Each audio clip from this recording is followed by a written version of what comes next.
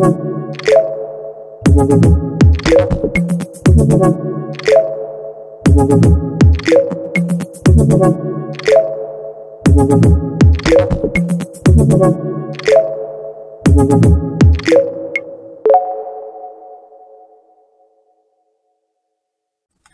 everyone, today in this video I'm going to show you how to download Copernicus Marine data.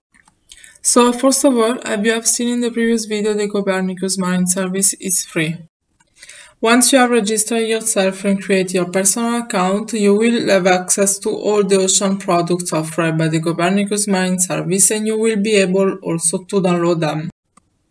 Once in the product catalog, after choosing the product of interest and have added it to your cart, you just need to go into it here and click on the download product button and you will be redirected to the download page.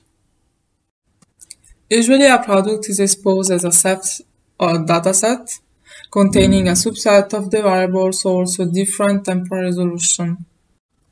For example, for this product here, we have a list of different uh, datasets following the variables, like for example, we have dataset for currents, salinity, temperature, and also a temporal resolution.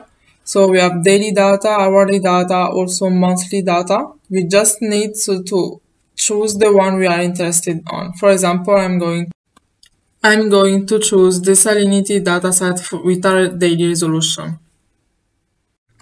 When you have chosen your dataset, you will be redirected to the extraction page. To know more about the Copernicus catalog and the product documentation, please take a look to the Getting Started video. We have so we have the geographical bounding box of latitude and longitude, the time range, the depth, and the ocean variables. On the geographical area, if you want to focus on a specific zone, we just need to change the coordinates of latitude and longitude. For example, I want to focus uh, on the arbor in the Alboran Sea, so I will I can be able to change here the coordinates. For example, from minus 5 to 0 and from 35 to 47. And we see how the map zooms on the area of interest. We can do the same for the time range also. For example, if I just want to know the data for the first week of May, I just need to select the, the start date and the end date. We can also decide if you want to focus on the ocean surface or if we want a few meters of depth or also we can have access to the whole vertical column of water. Usually we have also a list of ocean variables. In this case, we are working on a dataset of just salinity for daily, uh, daily resolution. So the only resolution we will have here is the salinity. Once the extraction is validated, you can click on the download button here and the file will be generated and this and it will be saved in the download folder or you can also select the data access option button here and a new window will open when you can find the size of the file and the type of extraction that you can choose. The Copernicus website usually offers up to three data access options delivered all in the standard NetCDF format. If you have any question about this kind of data, please check the video introduction to the NetCDF format. So these three data access are the subsetter, the direct get file, and the FTP protocol. For the subsetter, the user can download exactly what he needs in terms of geographical area, time range, depth, and ocean variables. So all the settings that we did in the previous step will be considered. This service is accessible from the graphical interface that we see here, we saw in the page uh, before, or also via machine interface. In fact, the web portal allows to generate also a template command line using this a Python script. When you click on the View Script button here, the interface will generate a template command line corresponding to your request of download. You just need to copy and paste the command line here in your terminal and change the local parameters as the username, password to the to connect to your Copernicus account, the output directory of your file, and the name of your file. The second mechanism is the direct get file. As the subsetter, it is accessible both by the graphic and the machine interface. The difference with the subsetter is that this mechanism downloads at once the entire geographical range and all the variables containing in the dataset. So the only variable that you can change and you can choose is the temporal range. This mechanism is very useful for grouping netcdf as one just single compressed file, but is not available to all datasets. If you don't need particular criteria to take into account for the download, you can use the FTP access. You connect using your, your Copernicus credential and you have access to all the original data in the format they are stored in the database. I will present you here two main ways to have access to this protocol. The first is the web browser. For this CMEMS page, you have access directly to this page by the product link here.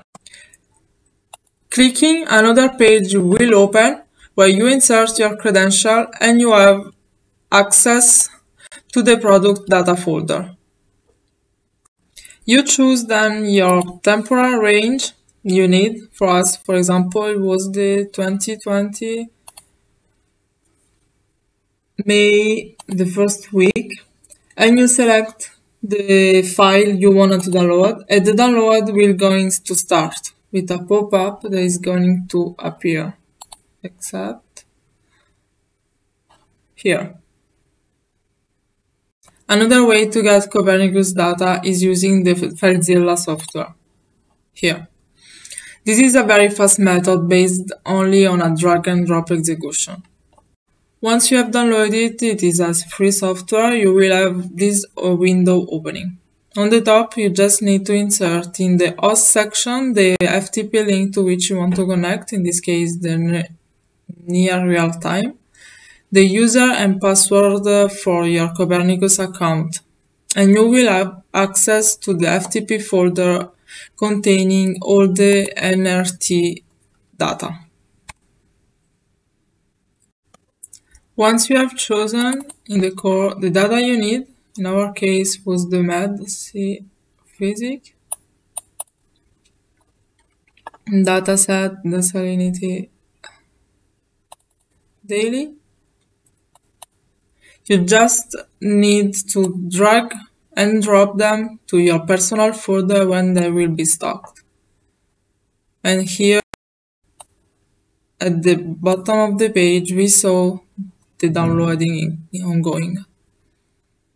This is a very so quick solution, it should work without any difficulties and is very very intuitive.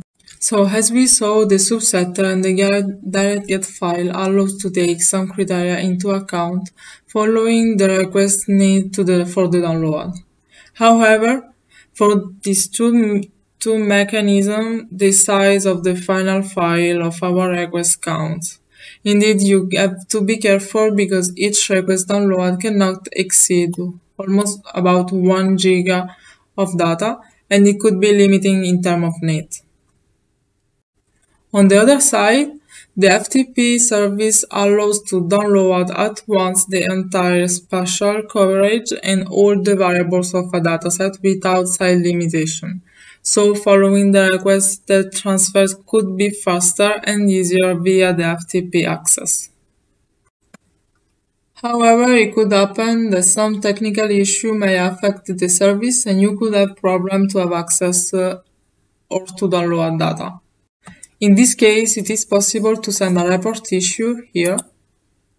When you explain the kind of issue you are facing and you submit your message sending an email. In this way, the service desk will be informed and will resolve the issue. Anyway, all the steps to use the Copernicus Marine Service are specified in the technical facts section, accessible from the main menu of the Copernicus website. In this section, small articles are listed uh, talking about uh, the registration, browser catalog, product information. For example, if we go to the technical fact how to write and run the script to download CMEMS product, you click on the title and the article will open where all the steps are explained and with uh, some example for create uh, some script uh, and download the, the data from the temp from the machine interface. Finally, if you have any question about the CMEMS products or their download, a human staff is at your disposal and ready to answer and assist you in the shortest time possible. You just need to click uh, on the Ask Question button in the bottom right of each side page and a contact us page will open when you can where you can submit your request and send a message to the service desk that will contact you in the briefest delay to answer to your need.